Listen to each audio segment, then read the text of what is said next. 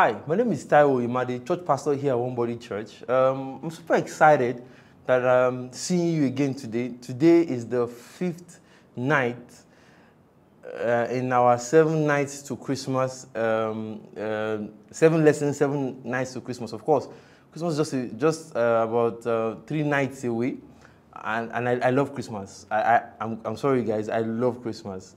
It's just, just, a, just a feeling of holiday season, people remembering the Lord.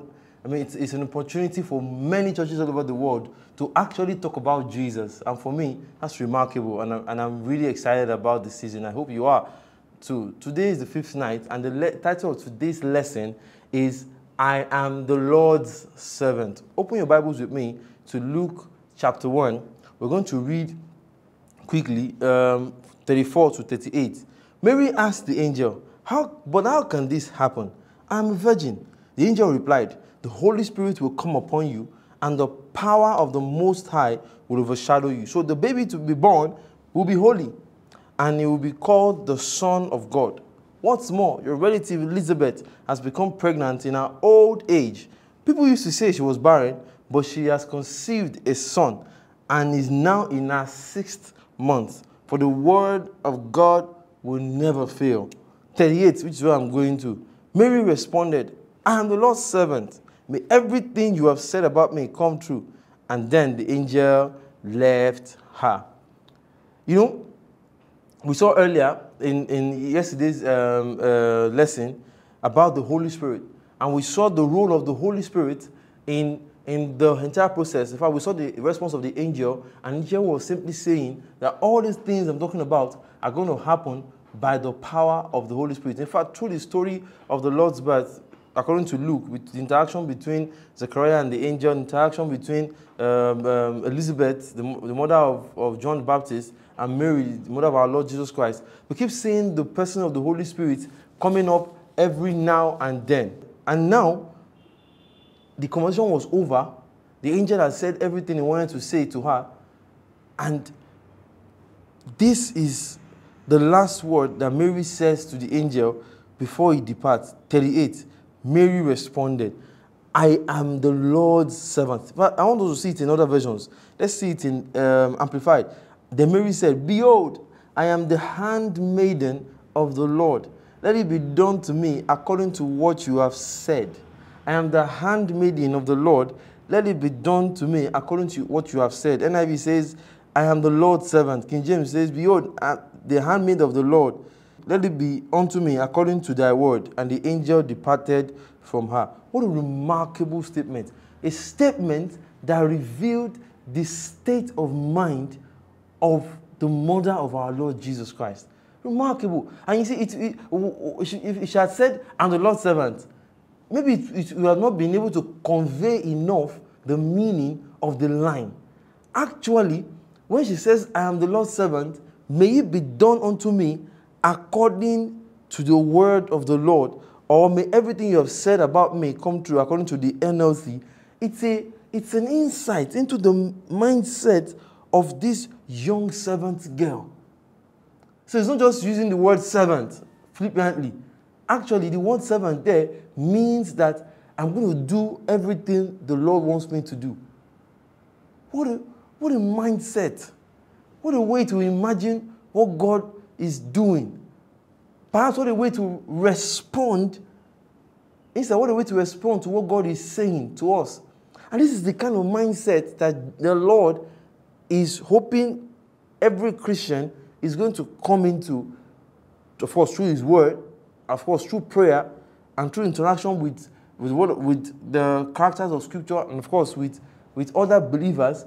That is the kind of mindset that we should come to. If you open the Bibles to the book of Romans, chapter 12, some of you already know it, verse 1 and 2. I'm going to verse 2, but let me start from verse, verse 1. Romans chapter 12, verse 1. And so, dear brothers and sisters, dear brothers and sisters, I plead with you to give your bodies to God. Give your bodies to God. Just, uh, this is exactly what a servant will do. And this is not a servant that is being forced now, a, a willing servant who would give him or herself over to the Lord and say, Lord, take my body. As he says, because of what he has done for you, in recognition of what God has done for you. When you imagine the greeting the angel gave to Mary, favored one, the Lord is with you. Now you understand what it means that the Lord is with her. Because this girl was abandoned to the Lord.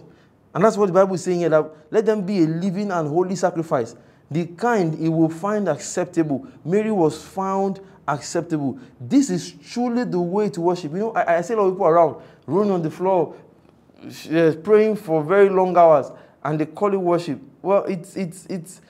I, I did not I did not think that what they are doing is, is out, out of place for worship.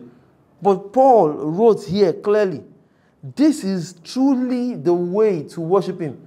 Which, which ties back to what the Lord was saying in the book of John, chapter 4, when he was talking to the woman by the well in, Naz- in, uh, in Samaria, saying, True worshippers who worship in spirit and in truth. It's beyond what we're saying, it's beyond how, uh, uh, uh what we are doing uh, uh, every, every, maybe every Sunday in the week.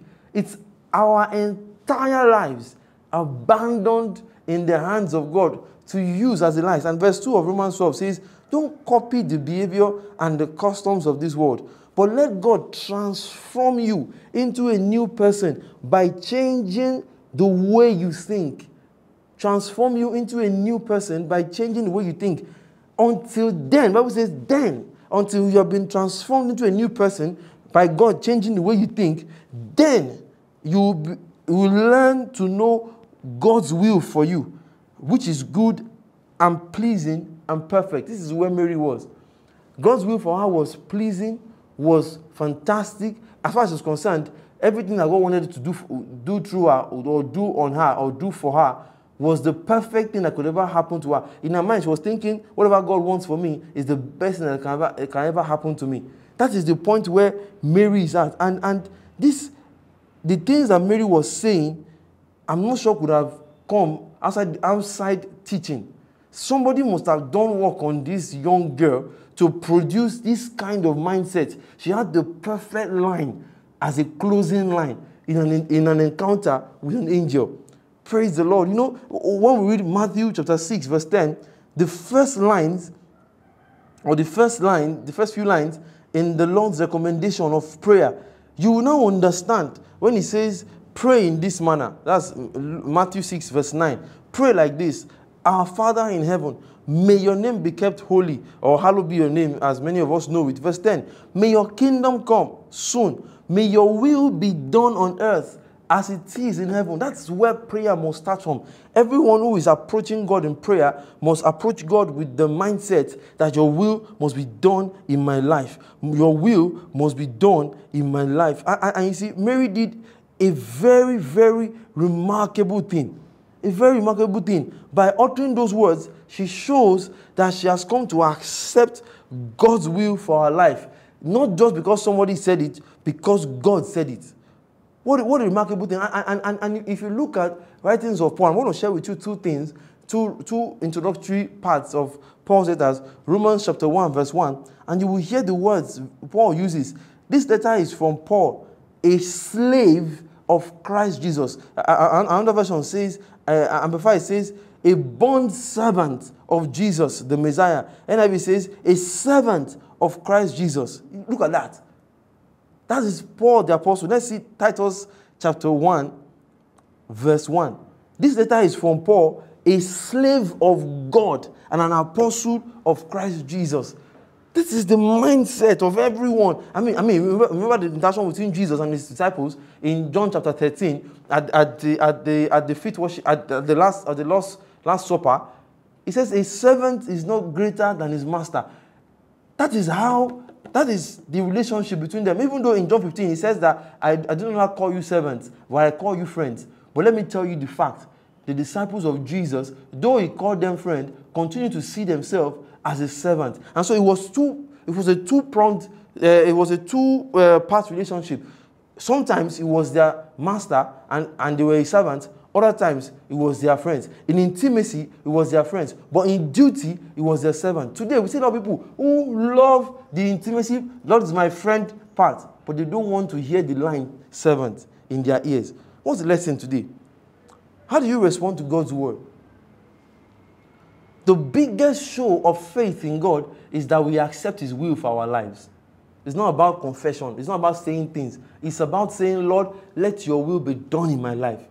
Today, what we see is a lot of rebellious people who are using confession of faith to mask their rebellion. Instead of them to accept what God is doing in their lives, even when clearly God brings a word to them, they prefer instead to what they call change the will of God. You hear, you hear some ministers confused as they are. May the Lord have mercy on them. Say things like, you can change the will, the will of God by, de- by declaration. What kind of falsehood is that? Those who experience the hand of God remarkably in their life, and their lives have been documented for thousands of years, they had one thing in common. For them, it was, let your will be done in my life. I'm going to read one more verse of scripture to you so that you can seal up these thoughts in your mind. Luke chapter 1, 45. When Mary arrived at the house of Elizabeth, she went to confirm, of course, what the angel had said. Listen to what Elizabeth uh, said to her. Verse, 40, verse 44, Luke 1 44. When I heard your greeting, the baby in my womb jumped for joy. Verse 45. This is what Elizabeth said to Mary. You are blessed because you believed that the Lord will do what he said.